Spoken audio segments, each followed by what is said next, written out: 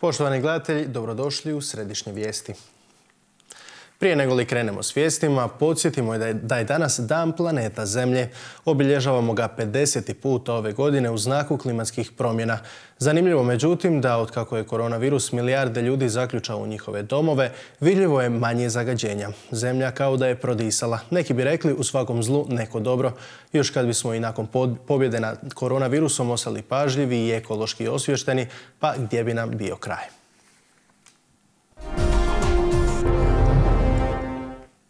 U Hrvatskoj su u posljednja 24 sata 42 osobe zaražene koronavirusom, pa ih sada ima ukupno 1950. U tom periodu nitko nije preminuo, dok se oporavilo ukupno 869 pacijenata. Važno je napomenuti da opada broj zaraženih, što je posebno istaknuo resorni ministar Beroš. Detalji u nastavku. Danas je 58. dan od pojave ove infekcije u Republici Hrvatskoj i u proteklih 24 sata imamo 42 novo dijagnosticirana oboljela bolesnika sa COVID-19, što daje brojku od 1950 bolesnika. Učinjeno ukupno 27.614 testiranja, a u jučerašnjem danu 1340. Međutim, broj pozitivnih nalaza i dalje pada, tako da je danas 7,06%. Od jučer nemamo preminulih osoba, tako da je broj preminulih u Republici Hrvatskoj i dalje 48 bolesnika. Na respiratorima imamo 19 bolesnika, znači jedan više u odnosu na jučer. Hospitaliziranih imamo 314, znači tri manje nego jučerašnjeg dana oporavljenih, e, odnosno otpuštenih iz zdravstvenih ustanova imamo 457, što je 33 više nego jučer, a oporavljenih kod kuće 412, što je 35 više nego jučer. Ukupno imamo dakle 869 oporavljenih bolesnika, odnosno 68 više nego jučer. Danas imamo jedno žarište o čemu će vam vjerovatno nešto više reći kolega Capak, a riječ je o domu za starije u Koprivnici gdje imamo 13 pozitivnih korisnika i imamo dva pozitivna zaposlenika i dva pozitivna kontakta. Znači ukupno iz tog područja nam dolazi značajan broj zaraženih i oni su u današnjem ukupnom broju. Ono što bi vam nadalje želio reći da eto određene međunarodne institucije, u ovom slučaju Londonska škola za higijenu i tropsku medicinu je napravila svoje istraživanje koje ukazuje da je reprodukcijski broj, ovaj takozvani R, koji je najbolji parametar za koji pokazuje širenje infekcije, već neko vrijeme u Republici Hrvatskoj ispod 1. Konkretno on je 0,8 što praktično znači da jedan oboljeli zarazi jednog u svojoj okolini, što pokazuje da ove dosad promišljene i određene mjere pokazuju rezultate. I u tom smislu zahvaljujem prvenstveno građanima koji poštuju te mjere, vama medijima koji ih komunicirate, a i stručnim ljudima u stožeru koji su ih promislili jer one očigledno u ovom trenutku jesu učinkovite. I nadalje, s obzirom da sam rekao da će do srijede biti gotov nalaz zdravstvene inspekcije u Domu za starije u Splitu. Moram vam reći da zbog kompleksnosti samog predmetnog slučaja i potrebe međuresornog sagledavanja ove problematike, da vas molim još koji dan da nam date vremena za adekvatno promišljenje jer želimo odluke donijeti potpuno utemeljeno. Ovo e, pitanje o e, mjerama u tri faze Dakle, mi ovdje kontinuirano komuniciramo sa vama i sa javnošću da u momentu kada bude povoljna epidemiološka situacija, da ćemo vrlo pažljivo razmotriti koje bi od mjera koje smo uveli 18., 19., 20. 3. kad smo imali nepovoljnu epidemiološku situaciju i rast broja oboljelih, koje bi te, od tih mjera E, mogli maknuti i govorili smo o tome da ćemo skupa sa vladom Republike Hrvatske napraviti e, plan mjera koji e, će najviše gospodarski doprinijeti oporavku gospodarskom u Hrvatskoj, a koje će najmanje smetati epidemiološkoj, epidemiološkoj situaciji i širenju koronavirusne infekcije. Vlada Republike Hrvatske će sutra izaći sa dokumentom na, na sjednici vlade u kojoj će upravo ta faznost mjera i detalji svih mjera sa datumima biti objavljena. Malo drugačije vijesti iz Zagrebačkog stožera civilne zaštite. Danas se puno pričalo o jagodama. Jagodari vrše pritisak na grad koji vrši pritisak na nacionalni stožer kako bi se od svibnja dozvolilo uz pridržavanje svih epidemioloških mjera prodavanje jagoda diljem metropole. Uz jagode tema je bio i zet, a pala je i kritika na račun ministra Štromara. Za promjenu počinjemo sa lakšom, slađom vijesti. Od Jagodice Purgerice žive brojni zagrebački jagodari, koji od 1. svibnja žele prodavati diljem Zagreba. I zamolba Centralnog stožu Republike Hrvatske da nam to dozvoli pod istim uvjetima onima koji prodaju ljudi na tržnicama svoje proizvode. I danas smo to jednoglasno usvojili i danas ide to prema Centralnom stožeru. A sada prelazimo na standardne vijesti vezane za COVID i potres, kad je COVID u pitanju samo dva novo oboljela od 220 novo testiranih. To znači nisu novo oboljeli. To znači da imamo taj trend pada od 3 na ispod, ispod 3 na ispod 1%. Kad Zagreb gledate apsolutnim brojkama, u odnosu na druge županije, onda je to još razlog za veći optimizam jer u Zagrebu živi 850 tisuća ljudi. I Zagreb je pretrpio i trpi i koronu i trpi i potres. Manje zaraženih znači i manje potrebe rada u COVID ambulantama, pa se u njima ukidaju noćne smjene, a već nekoliko dana Z testira kako bi se u buduće moglo voziti tramvajima i busevima. S jedne strane treba paziti na epidemiološke mjere kad se propišu za javni prijevoz, koji zbog potresa neće biti isti. Vožnje će raditi oštećenom dijelu donjeg i gornjeg grada. Donjeg grada, ne gornjeg, u gornjem nema tramvaja. Na granici donjeg i gornjeg grada, govorimo prije svega u Ilici. I nakon toga ćemo vidjeti kada se olabave mjere, relaksiraju mjere javnog prevoza, očekujemo to za praznik, za prvi svibanj po najavama koje ja imam a prevozi se automobilima i kombijima. Ovih dana je građevinski materijal za krpanje kuća stradalih od potresa. Jedan od kojeg je grad kupio materijal je i član Bandićeve stranke. Bandić opet ponavlja isto, da tu nema ništa sporno. A princip će, kaže, biti isti i oko dodjele gradskih stanova. Neće on, kaže, gledati jer itko član njegove stranke ili nije. Nemamo sada da i od stanova to napravimo. I tu slučaj pa da pitamo ko je od nesretnih ti ljudi u kojoj stranci. Jer može se dogoditi da je neko i od tih ljudi od 30, 47 zahtjeva koje smo primili, a imamo 44 stana, također neko početi priču o tome kad se počne raditi lista. A lista ima jedina četiri pravila igre i kriterija koje treba ispuniti. A to su socijalna kriterija. To je imovinski ili socijalni status obitelji. Znači, jedine imovine, da nema druge nego tu koja je uništena i koja ima naljepnicu crveno. Drugi kriterij je broj članova obitelji. Treći kriterij je ne daj Bog da je neko bolestan. To sve punti bodovi koji nekoga stavljaju ispred ili iznad na listu. I četvrti kriterij je onaj koji za sve, to je deset godina boravka u gradu Zagrebu. I za kraj opet malo nadmudrivanja na relaciji Bandić-Štromar. Pita se Bandić kako je netko mogao izračunati kolika je šteta od potresa, kad još uopće nije ni završila procjena štete na terenu. Štromer je naime izračunao da riječ o 42 milijarde kuna. Ja ne znam ni koliko je procjena šteta jer još nismo ni procijenili, ni obišli statičari sve objekte.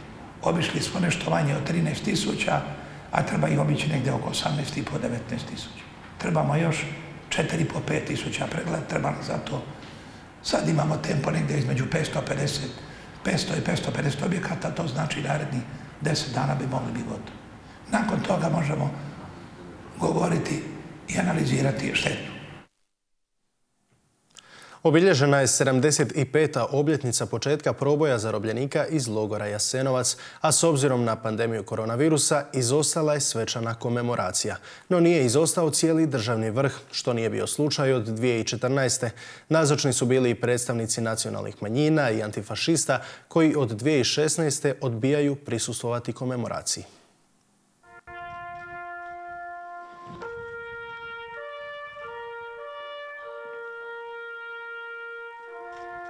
Zajednički vijenac podnos spomenika Kameni cvijet položili su predsjednici Republike, vlade i sabora. Prije 75 godina posljednjih šest zatvorenika krenulo je u proboj iz logora u Jasenovcu, a preživjelo je njih stotinjak. Komemoracija je okupila cijeli državni vrh, što nije bio slučaj od 2014. godine. Danas smo ovdje u Jasenovcu da obilježimo e, sjećanje na dan e, proboja logoraša da još jednom izrazimo pijetet prema žrtvama ovoga logora, da osudimo strahote koje su se događale e, tijekom drugog svjetskog rata ovdje i naravno zločine počinjene od e, ustaškoga režima.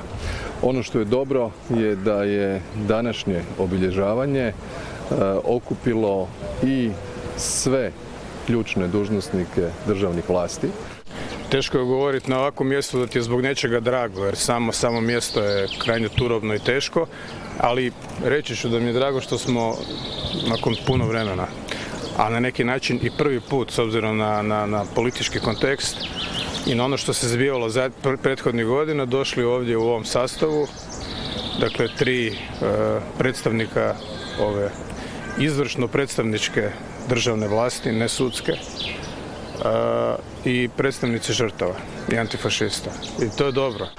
Iako su predstavnici antifašista i nacionalnih manjina došli, nakon što su od 2016. godine odbijali prisustvovati državnoj komemoraciji, nisu u potpunosti zadovoljni.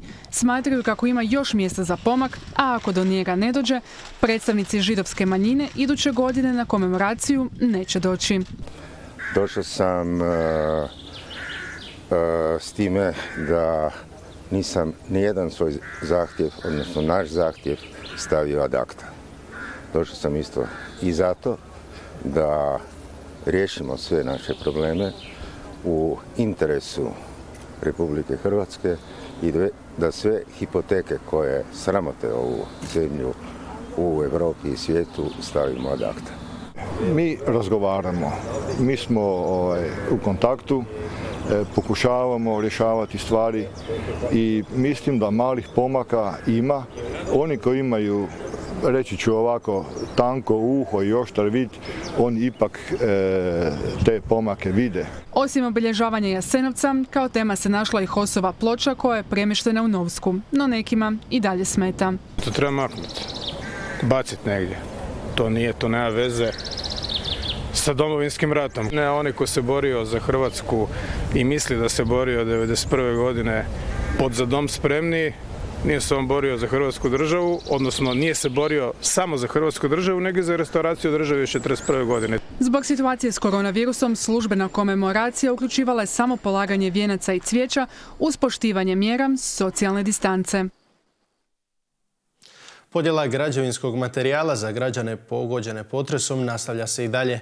Gradske četvrti Donji i Gornji grad dobile su potrebnu pomoć za sanaciju oštećenja nastalih u snažnom potresu, ali po principu uradi sam.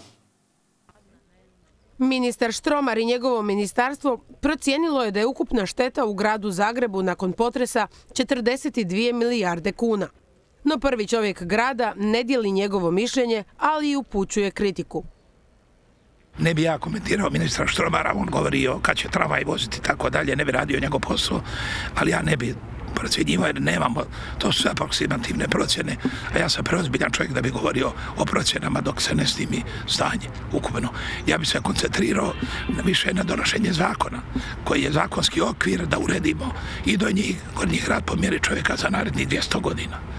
E, uz pomoć struke, osnovali smo savjet, bili ste svjedoci prije pet dana, vršimo pritisak na resorno ministarstvo da uvaži stavove grada i struke jer smo nastupili zajedno i statičari, inženjeri, povjesničari umjetnosti i neka svako odrati svoj dio posla. Gradonačelnik ne vidi ništa sporno u izboru tvrtki od kojih se nabavljao materijal. Kako kaže, nije se gledala stranačka pripadnost, nego da se što prije pomogne građanima, koji su usputno rečeno pomoć čekali gotovo mjesec dana, a natječaj je trajao svega 24 sata. Imate provjeriti, pitajte firme što se mene tiče, da li je neko u nekoj stranci. Ja nemam, inače koliko znam da nema uvjeta u natječaju pripadnost stranci. Mislim, od toga, ako ćemo raditi cirkus, možemo raditi cirkus. Ali nije to, niko nikoga pitao, niti uvjetao. Svi su imali ravnopravne uvjete, svi se mogu javiti. Kako se ko zove, kojeg je svjetonazora, ko je udovoljio na uvjetima natječaja, taj je dostavio ovdje materijal i bit će uredno plaćen. Bez obzira na ime i prezime i pripadnost, ne znam čemu. A koji su zapravo bili uvjeti natječaja od 24 sata? Postupci su se provodili po važećem našem pravilniku o e, provođenju postupaka javne nabave koji je u skladu sa zakonom o javnoj nabavi zbog žurnosti cijele procedure jer ovo je izvanredna situacija i ako je nešto žurno bilo onda je i ako je nešto izvanredna okolnost onda je to potres. I mi smo zato koristili sve dakle mogućnosti koje nam taj pravilnik koji je donijet na temelju zakona o javnoj nabavi dozvoljava i bio je dakle taj skraćeni postupak, rok za dostavu ponuda je bio 24 sata i to tvrtki koje smo e, e, pronašli analizom i građani Gornjeg grada od danas mogu podizati građevinski materijal i to na parkiralištu kod krematorija. Za sad se na našu akcija koja je bila i što smo mi napravili listu, javilo se je negdje, bit će oko 180 ljudi za sada, to je obrađeno, materijal je ovaj što je došao nije sav, jer će još doći u toku ova dva, tri dana, jer mi smo materijal počeli dobivati tek u ponedeljak. I onda dobavljači kako dođu, to su kamioni dok se istovare, ali još nije sve stiglo. I dok ima materijala po ovoj našoj evidenciji što smo mi napravili po tim zahtjevima, nadamo se da ćemo uspjeti dosta naših građana jer se zna da je to za privremenu sanakciju. Zagreb i Zagrebčani će se još dugo oporavljati od potresa, ali nažalost i sanirati sve uništeno. Uslijed svih dužnosti gradonačelnika i šefa Zagrebačkog stožera civilne zaštite, Milan Bandić nije zaboravio ni na simpatizere stranke Rada i Solidarnosti. Stranka je doživjela reorganizaciju posla, ali i donijela neke odluke kojima nastoji pomoći svim građanima grada Zagreba. Stranka rada i solidarnosti na čelu s Milanom Bandićem otvorila je fond za skupljanje novca za pomoć unesrećenim građanima kojima su dom i egzistencija narušeni potresima i pandemijom koronavirusa. Naša stranka ne samo da nosi ime stranke rada i solidarnosti, nego to živimo. Dokaz je toga i zadnjih 20 godina u gradu Zagrebu. Ali na dijelu, ne samo na riječima. Prva smo i jedina stranka u Hrvatskoj koja je sa riječi prešla na dijela osnivajući fond solidarnosti. To me je prethodio Pomozimo zajedno forum mladi stranke rada i solidarnosti od kojem i to mi je bila inspiracija da to osnujemo. Dakle, prva odluka stranke je otvaranje fonda, a sljedeće odluke pokazuju na koji način će se taj fond puniti. Drugu odluku koju smo donijeli da tri mjeseca članarinu su na razini stranke uplatimo fond solidarnosti. Treću odluku koju smo donijeli da 50% sredstava svi naši ljudi koji participiraju u zakonodavnoj vlasti ili tijelima gdje se prima određena naknada uplate također u fond solidarnosti. Morao sam to reći jer svi drugi to najavljuju ili na presicama govore o tome ali nitko nije konkretno napravio ništa. Kao i sve druge u Hrvatskoj i ova stranka morala je reorganizirati svoj rad uslijed potresa i koronavirusa. U dvostrukoj kataklizmi koji je zadesio grad Zagreb, ono što se odnosi na grad Zagreb, a i na cijelu Hrvatsku tamo gdje participiramo u zakonodavnoj izvršnoj vlasti, da zamrzavamo sve aktivnosti stranke osim onih aktivnosti koje su usmjereni u borbi protiv COVID-19 i sanaciji potresa u gradu Zagrebu.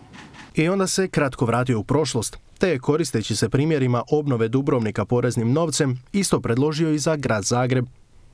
Da grad Zagreb koji deset godina u fond izravnjanja je uplatio preko 10 milijardi kuna.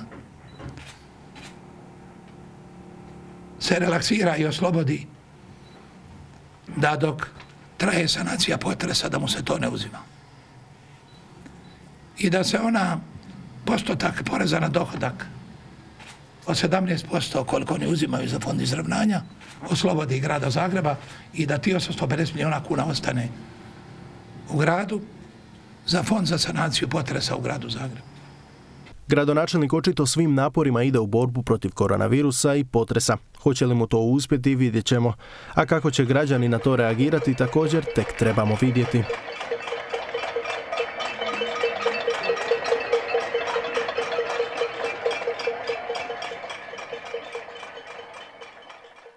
U svjetlu činjenice da se širenje koronavirusa vremenski poklapa s početkom sezonskih alergija, dr. Zvonimir Šostar, ravnatelj Nastavnog zavoda za javno zdravstvo, dr. Andrija Štampar, jasno ukazuje na razliku između ovih pojava i ističe onu ključnu. Alergije ne prati povišena tjelesna temperatura. Poslije kroničnih bolesnika najugroženiji od zaraze koronavirusom su i svi oni koji pate od različitih oblika alergije. Jesu ugroženi sigurno jer je imunni sustav oslabljen zbog e, preosjetljivosti na aeroalergene kojih imamo sve više. Znamo da je početkom godine to bila ljeska, sad je krenula breza koja je jedan od najjačih aeroalergena. Ali evo Zavod svaki dan objavljuje peludnu prognozu i imate konačno i mobilnu aplikaciju, imaju naši sugrađani gdje mogu vidjeti kakve su koncentracije različitih alergena u zraku. Proljeće je doba godine kada se javljaju alergije koje prate sljedeći simptomi. Kihanje, začepljen nos i svrbeš očiju. Je prvi mnogi povezuju sa koronavirusom, ali kihanje nije na listi njegovih čestih simptoma. Temperatura jest. Nekoliko je u stvari vrlo uh, signifikantnih uh, razlika između covid i preosjetljivosti na alergene. Prije svega nema temperature kod alergije, s druge strane nema opće slabosti, nema bolova u mišićima, nema grlobolje, što sve nalazimo kod covid i kod alergije, ako je samo alergija u pitanju, simptomi prestaju po uzimanju antialergena, dakle antihistaminika, simptomi se e, ipak u značajnoj mjeri ili smiruju ili potpuno prestaju. Prema tome, vrlo jednostavno je razlikovati e, e, infekciju koronavirusom od preosjetljivosti na alergene koje svaki dan udišemo. Pa zapamtite, temperature opće slabosti i bolova u mišićima kod alergije nema. Može vas zaboljeti grlo, no samo zbog iritacije grla kašljanjem radi pelodnih čestica, čija je koncentracija momentalno zaista visoka. U nastavku vijesti pogledajte naše ostale priloge. Gradsko društvo Crvenog križa Karlovac organizira akciju dobrovoljnog darivanja krvi. Svi koji žele dati krv mogu to učiniti sutra od 12 do 17 sati te u petak od 9 do 15 sati u prostorijama Crvenog križa u Smičiklasovoj ulici. Jedna doza krvi može spasiti čak tri života. Krv mogu darivati svi od 18 do 65 godina. Muškarci krv mogu dati do četiri puta godišnje, a žene tri puta u godinu dana. U općini Lobor otvara se zelena tržnica koja će raditi petkom od 8 do 13 sati. Bit će smještena u uređenim prostorima na igralištu osnovne škole Franje Horvata Kiša, a moći će se kupiti voće i povrće te presadnice, povrća i cvijeća. Iz općine Lobor poručili su kako će se provjeravati pridržavanje svih propisanih mjera koje su na snazi u trajanju epidemije COVID-19. Prodajna mjesta bit će razmaknuta, na svako od njih imat će sredstva za dezinfekciju i zaštitne maske. Uz to regulirat će se ulaz i izlaz sa tržnice. S obzirom da su knjižnice i čitaonice zatvorene, Gradska knjižnica Velika Gorica je svim ljubiteljima čitanja pripremila online sadržaje povodom ovogodišnje Noći knjige. Sadržaje su odabrali i pripremili knjižničari. Na plakat ovogodišnje manifestacije iz svijeta fikcije stigao je knjiški patuljak i veseljak prigodnog imena Čituljak. Pridružiti mu se možete i vi sutra i provjeriti virtualne knjiške sadržaje.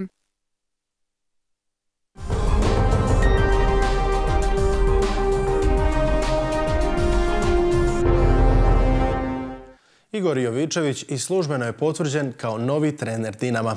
Dosadašnji trener modre mlade momčadi na klupi će zamijeniti Nenada Bijelicu, koji je otišao nakon sporazumnog raskida ugovora. Jovičević je poručio kako je ovo ostvarenje njegovih dječačkih snova, te da osjeća veliku radost, ali i veliku odgovornost koju sa sobom nosi dužnost glavnog trenera. Ono što mu je bitno jest da momčad ostane na okupu, te da budu prepoznatljivi. Nastoja će nastaviti bijeličinim putem, ali s nekim svojim idejama. Njih će na treningu moći iznijeti kada im se odobri zahtjev da mogu trenirati s obzirom na cijelu situaciju oko koronavirusa. U njegovom stručnom stožeru bit će pomoćni treneri Damir Krznar i Alen Peternac. Ni potres, ni korona ne mogu umanjiti ljepotu prirode u proljeće. No, da ne duljimo, najbolje da pogledamo.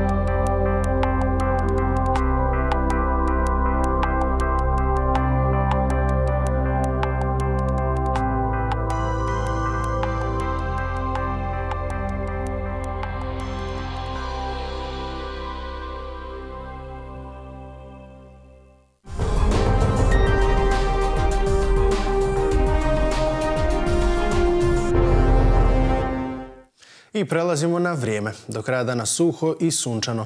Puhaće umjeren sjeveroistočni vjetar, temperatura zraka oko 20 Celzijevih stupnjeva, na večer i tijekom noći svježije. Bioprognoza će i u nastavku dana biti povoljna. A kakvo će vrijeme biti sutra, doznajte u nastavku.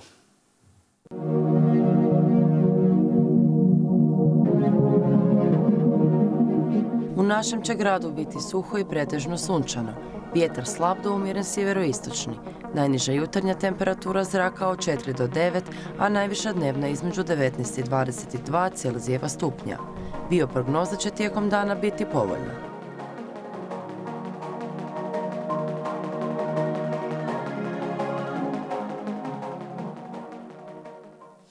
I bilo je to sve u našim središnjim vijestima. Večernje možete pogledati u 21 sati 10 minuta, emisiju Zoom Zagreb od pola 10 i dalje se pridržavajte svih naputaka stožera civilne zaštite, posebno pazite na higijenu i fizičku distancu od ostalih ljudi, ali ostanite u nastavku dana uz Z1 televiziju. Hvala na pozornosti i doviđenja.